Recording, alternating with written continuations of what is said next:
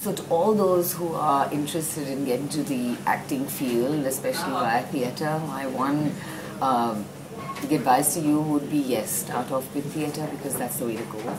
Uh, it's where you will be appreciated totally as an actor, and uh, then of course all the rest follows, whether it's television or whether it's film, uh, whatever else, and the, the fame and adulation and everything will follow after that. But uh, start with theatre without a doubt, um, because that's where you get to play so many, so many other characters, um, you know, and everything about them, uh, and uh, you get to do it every day when you're doing a when, when you're doing a play. You get to get in get into a certain character rather than just going on a set and just finishing off your work and going for the day. Um, give the time and give that commitment